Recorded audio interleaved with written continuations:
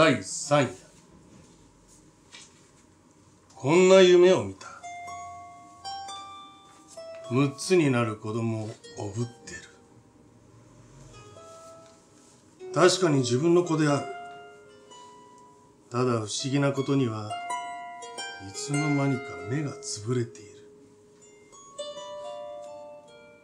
青坊主になっている。自分がお前の目はいつ潰れたのかい？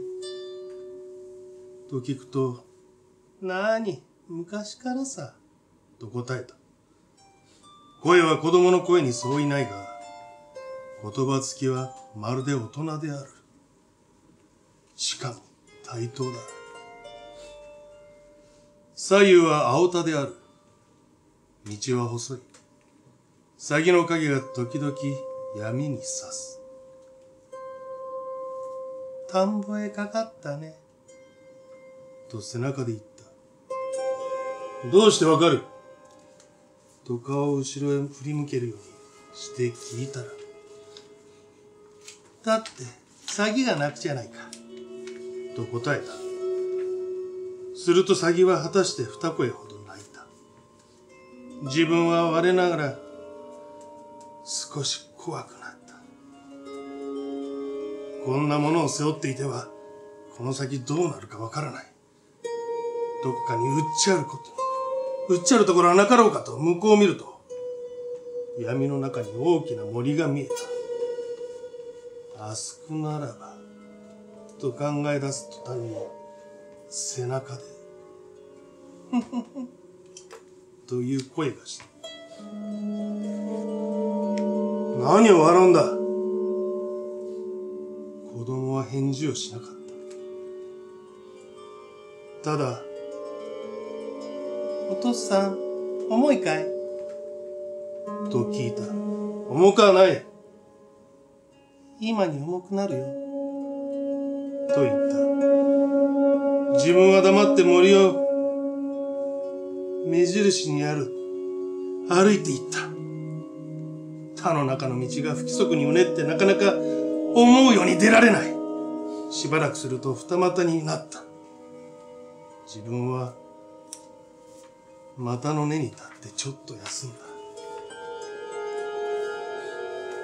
石が立ってるはずだがな、と小僧が言っ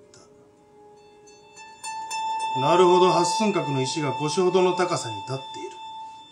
表には、左左首、日がく右堀田原と。闇なのに赤い字が明らかに見えた。赤い字は、イモリの腹のような色であった。左がいいだろう。と小僧が命令した。左を見るとさっきの森が闇の影を高い空から自らの頭の上へ投げかけていた。自分はちょっと躊躇した。遠慮しなくてもいい。と小僧がまた言った。自分は仕方なしに森の方へ歩き出した。腹の中では、よくめくらのくせに何でも知ってるなと考えながら、一筋道を森へ近づいてくると、背中で、どうもめくらは不自由でいけないね。と言った。だからおぶってやるからいいじゃないか。おぶってもらってすまないが、どうも人に馬鹿にされていけない。親にまで馬鹿にされるからいけない。なんだか嫌になった。早く森へ行って捨ててしまおうと思って急いだ。もう少し行くとわかる。ちょうどこんな晩だったね。と背中で独り言のように言っている。何がと際どい声を出して聞いた？何がって知ってるじゃないか。と子供はあざ、あざけるように答えた。するとなんだか知ってるような気がしだした。けれどもはっきりとはわからない。ただこんな晩であったように思える。そうしてもう少し行けばわかるように思える。分かっては大変だから、わからないうちに早く捨ててしまって、安心しなくてはならないように思える。自分はますます足を速めた。雨はさっきから降っている。道はだんだん暗くなる。ほとんど夢中である。